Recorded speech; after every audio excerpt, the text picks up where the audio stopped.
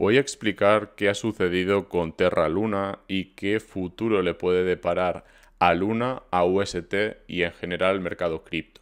Vemos una subida muy fuerte en el día de hoy, vemos un 600% de subida y todavía un poquito más, derivada de la caída y posterior recuperación, aunque no sea tampoco una recuperación muy fuerte, del precio de Terra. Vamos a explicar qué ha sucedido, voy a dar mi opinión, voy a explicar por qué compré hace unas horas y también por qué considero que hay un riesgo muy elevado, aunque también cuando hay riesgo hay oportunidad. Os recuerdo que nada de lo que comente constituye asesoramiento financiero ni consejo de inversión, por lo tanto debéis hacer vuestra propia investigación y sin más, vamos para allá.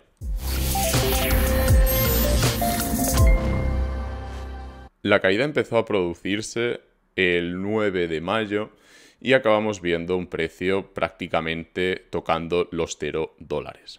Hemos tenido una caída estrepitosa con delistamientos en varios exchanges y después hemos empezado a ver cómo algunos empezaban a listar de nuevo a Luna. Entonces ahí es donde yo empecé a investigar más en profundidad y llegué a algunas conclusiones. La primera, entendamos qué es el arbitraje y por qué había tanta dependencia del arbitraje.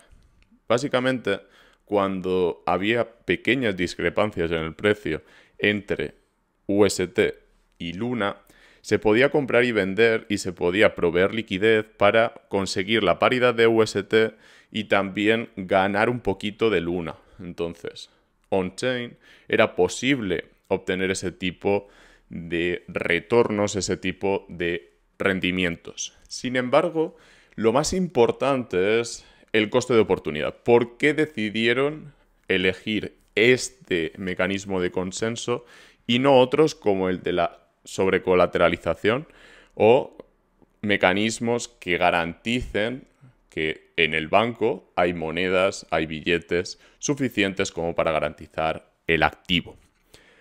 El tema más importante, como venía comentando, es que si utilizamos los Luna para, por ejemplo, respaldar la seguridad de la red, estamos incurriendo en un coste de oportunidad y es que no podríamos mantener la paridad y si mantenemos la paridad tendremos que diseñar un mecanismo para que no haya ese trade-off o ese coste. Entonces, en su día se decidió que UST y Luna iban a generar una serie de arbitrajes o una serie de oportunidades de arbitraje para poder mantener la paridad de UST y también aumentar el valor de Luna. Sin embargo, en el momento en el que no satisfacen esta condición, empezamos a mirar en profundidad el modelo que hay detrás del tema que acabo de comentar. Y el modelo que debemos considerar es el del arbitraje con racionalidad. Era irracional ir vendiendo, ir asumiendo pérdidas cada vez mayores a través del spread. Vamos a comentar qué es el spread porque es un dato que tenemos aquí en TerraSwap y que básicamente nos dicen que es el coste que se paga por la diferencia entre el precio de mercado y el precio estimado. Es decir, tenemos un precio teórico y después tenemos el precio que acabamos pagando. Entonces, cuando UST empieza a perder la paridad, cuando UST empieza a caer con fuerza, quiebra la confianza en este mecanismo y por lo tanto los agentes empiezan a estar dispuestos a asumir costes cada vez mayores para salirse de UST, incluso salirse de Terra Luna y generando ese tipo de discrepancias en el precio se hace una cascada o se genera una cascada de liquidaciones a través del apalancamiento. Porque no olvidemos que tanto UST como AUST se han utilizado una y otra vez como garantías en protocolos DeFi. Hay muchas personas que han hablado de esa oportunidad y que han hablado incluso con bastante convicción de que se podía utilizar UST para tomar un préstamo y con ese préstamo seguir comprando activos y así ad infinitum. ¿Qué sucedió? que a muchos los liquidaron en la primera caída. Y si no los liquidaron en la primera, los liquidaron en la segunda, porque prácticamente tenían precios de liquidación en torno a los 80-90 céntimos. Y no dio tiempo a añadir garantías ni a deshacer la operación. Entonces, los que esperaban a lo largo de los años a acumular mucho más capital sin necesidad de estar expuestos a la volatilidad de Bitcoin o la volatilidad de Ethereum, se fueron a casa liquidados o salieron escaldados. Entonces, muy importante, llegados a este punto, hay dos agentes que han creado este tipo de errores o este tipo de cascadas. El primero, el arbitraje que tenemos sobre la mesa y es que no hubo tantos incentivos a utilizar el arbitraje para mantener el PEC o mantener la paridad. Y todo lo contrario, cuando aumentaba esa oportunidad, los agentes estaban dispuestos a renunciar a la oportunidad de arbitraje para generar todavía una mayor brecha. En vez de entrar al mercado para cerrar la brecha, entraban para sacar capital y aumentar el diferencial, aumentar el coste de hacer swaps en la red. Entonces, vemos una serie de mecanismos irracionales. Vemos el mecanismo irracional de aumentar la brecha entre UST y Luna.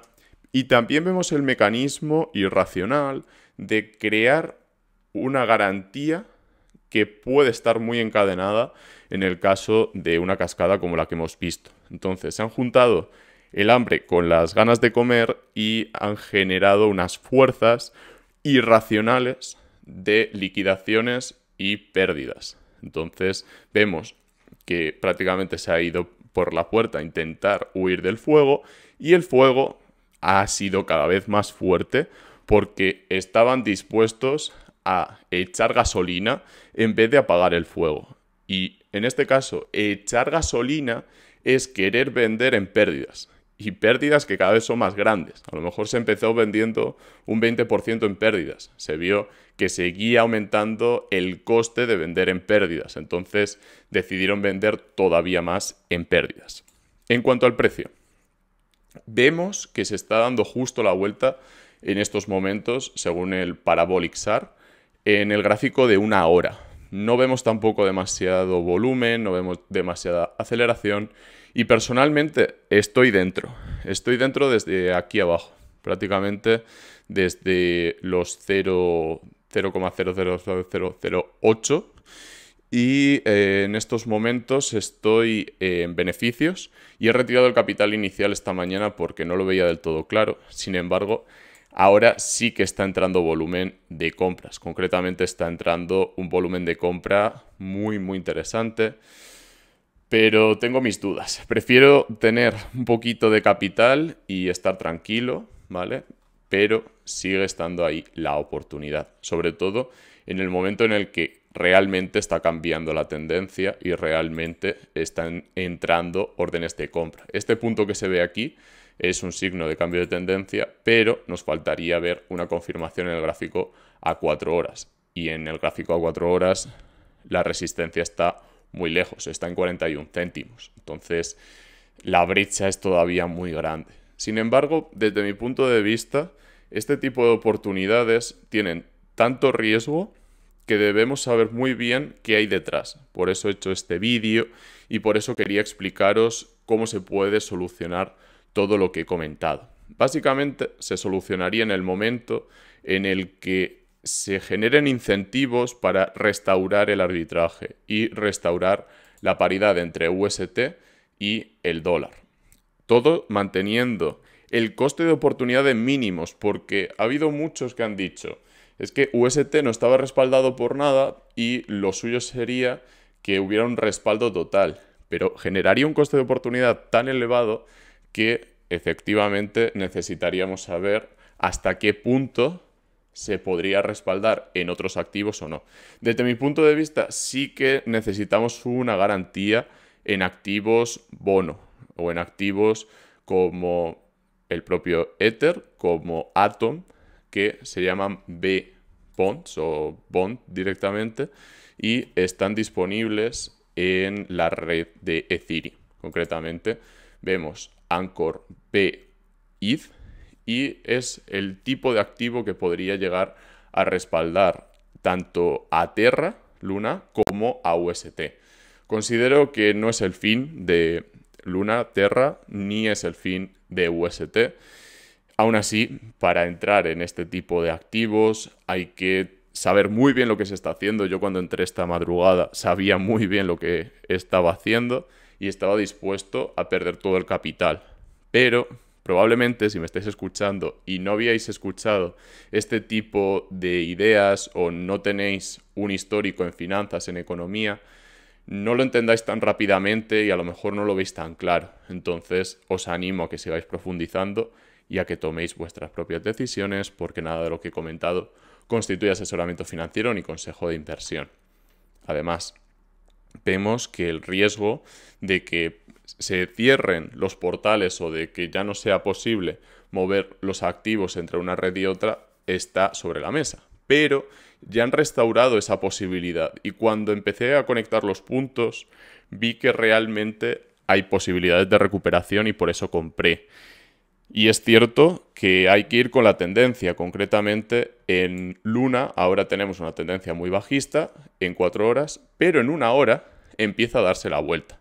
No hay tanto volumen como para entrar justo en la ruptura, pero sí que se podría esperar a ver cómo evoluciona. Por ejemplo, ver que siguen dándole al botón de comprar, que sigue entrando volumen como por aquí. Aquí empezaron a darle al botón de comprar y subía el precio porque le daban cada vez más al botón de comprar y personalmente no lo vendí todo en el gráfico de 15 minutos esta mañana porque estaba viendo que efectivamente se estaba manteniendo esa tendencia, aunque no está ahora empieza a estar un poco más claro en el momento de la grabación. Pero, insisto, todavía queda mucho terreno de recuperación y todavía necesitamos más claridad por parte del equipo directivo estoy muy decepcionado con cómo se ha actuado, tanto por parte del CEO de la compañía como por la compañía en sí, y considero que deberían haber sido mucho más claros, especialmente con los exchanges, porque no estaban respondiendo, no estaban colaborando y por lo tanto ha habido mucho conflicto. De hecho, sí, sí, estaba muy, muy, muy cabreado y por eso también veo que en cuanto a confiar en el proyecto, estamos en una crisis de confianza muy grande y prefiero estar en otro tipo de oportunidades o al menos pensar en otras oportunidades además de dedicarle un poquito de capital y un poquito de atención a este asunto. Espero que os haya gustado, si es así dejad un like. También me gustaría saber vuestra opinión, qué opináis y qué estáis haciendo si lo queréis compartir.